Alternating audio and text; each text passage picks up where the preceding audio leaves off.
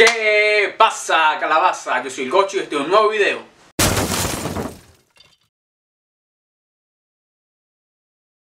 Hola a todos, espero que estén muy bien. Yo lo estoy, ya que estuve pasando el nuevo juego de Miles Morales, el que salió para Play 5. Bueno, también salió para Play 4, que fue donde yo lo jugué. Por si no lo han visto, eh, aquí les dejo una tarjetita con la lista de reproducción de todo el modo historia. Ya lo terminé, lo terminé ayer. Bueno, lo terminé el día martes. Lo que pasa es que la historia es más corta que la anterior. Sin embargo, no he terminado el juego al 100%. Yo dije en las transmisiones que me dejaran aquí abajo en los comentarios si querían que subiera videos completando el 100% del juego. Así que ustedes dirán. Debido a que estas dos últimas semanas el boom ha sido este juego, hay mucha gente que no sabe aún quién es Miles Morales y por qué está este juego, porque no teníamos a Peter. Entonces, yo me voy a dar la tarea de explicarles un poco o de darle algunos detalles de quién es. Vamos. ¿Quién es? Miles Gonzalo Morales es un adolescente de descendencia afroamericano y latina, puertorriqueña para ser más específico. Vive en Brooklyn, Nueva York que después de ser mordido por una araña genéticamente modificada, adquiere poderes como los de Peter y se convierte en el nuevo hombre araña del universo Ultimate, después de la lamentable muerte de Peter Parker. Su primera aparición en los cómics fue en Ultimate Fallout número 4, el 11 de agosto de 2011. Miles es de otra tierra o de otro universo. Recuerden que en esto de los cómics hay muchas tierras y muchos universos, y Miles pertenece a la 1610 o a la Tierra Ultimate. Es más, algunos superhéroes del MCU están basados en esa tierra. Fue creado por Brian Michael Bendis, que también es creador de Nick Fury, Luke Cage, Jessica Jones, entre otros.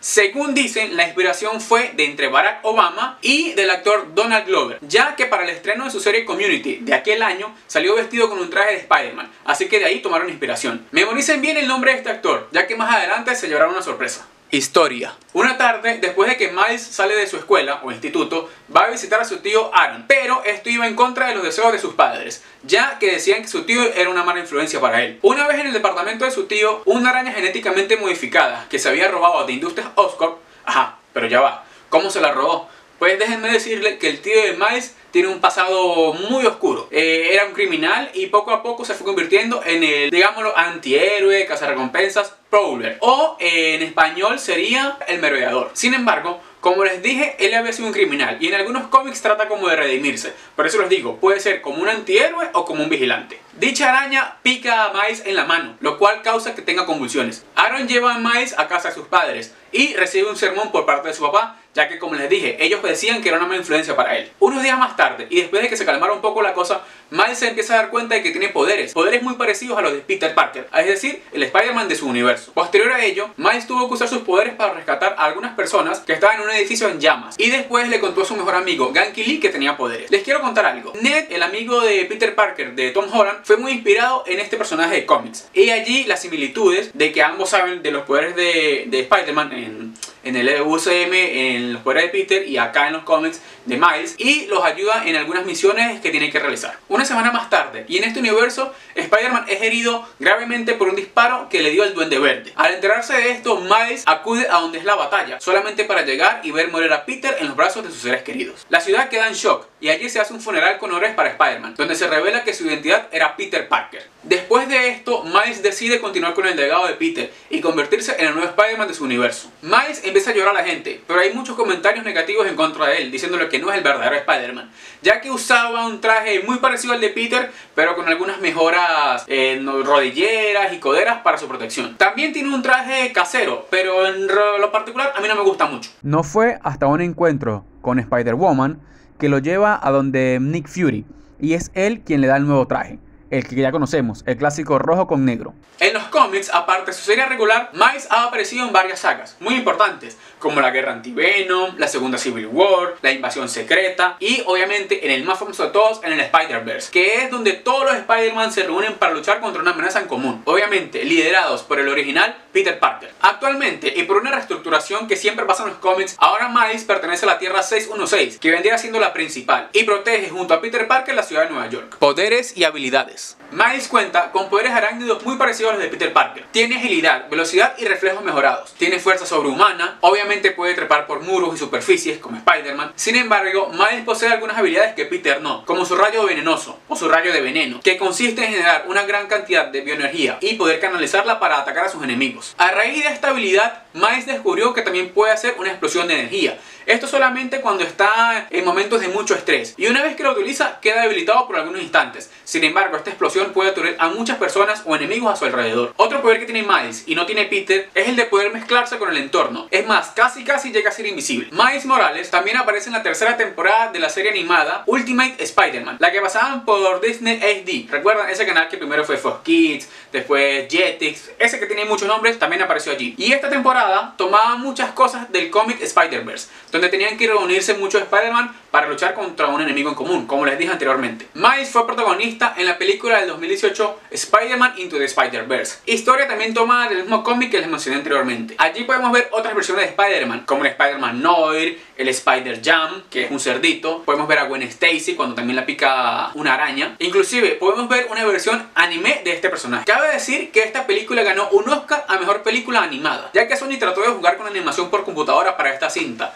Y no es muy común o muy parecida a otras cintas de esta categoría. La historia fue brutal, ya que cuenta los orígenes de Miles Morales y juega con el multiverso, que es lo que todos los fans queremos ver en el cine. Por favor, Marvel y Sony, pónganse de acuerdo de una vez por todas. Para los que no han visto esta película, se las recomiendo totalmente, es muy muy buena. Aunque no vimos a Miles Morales en la película Spider-Man Homecoming de Tom Holland, sí pudimos ver a su tío Aaron Davis, que fue interpretado por el actor Donald Glover. ¿Recuerdan? El que les mencioné a un principio, y lo podemos ver justo en esta escena. Esa noche le dijiste, si vas a disparar, dispárame a mí.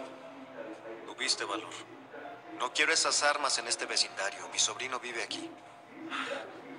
Fíjense que allí menciona que su sobrino no corre peligro. ¿Y quién es su sobrino? No es otro sino Miles Morales. Ahora, ¿será que con esto veremos a Miles Morales en el UCM pronto? Yo creo que no, ya que el Spider-Man de este universo apenas tiene 15 o 16 años y si va a ser el mentor de Miles, no es posible que sea menor que él. Entonces yo creo que Sony y Marvel deberían esperar unos 4 o 5 años para poder introducir a Miles. Sin embargo, con todo esto del multiverso y todos los rumores que hay, capaz podamos ver un Miles de otra tierra, un poco más adulto, no sé, puede ser. Miles también apareció en el videojuego de Spider-Man de PS4, el que salió en el 2018, que también le estaré dejando por aquí una tarjetita para que vean el modo historia de este videojuego. Yo hice las transmisiones en vivo, sin embargo quedaron guardadas en la lista de producción. El juego fue producido por Insomniac Games, exclusivo para PlayStation. Lo bueno de esto fue que introdujeron directamente a Miles en el universo de Peter. Quiero destacar que este también es otro universo, podría ser el universo de los videojuegos de Marvel, no sé cómo lo llamaríamos. En este juego se ve como la araña pica a Miles Morales. Y una vez que terminamos el modo historia, hay algunas misiones secundarias donde Peter le está enseñando algunos trucos para controlar sus habilidades. Y nada, en junio de este año nos presentaron este maravilloso adelanto.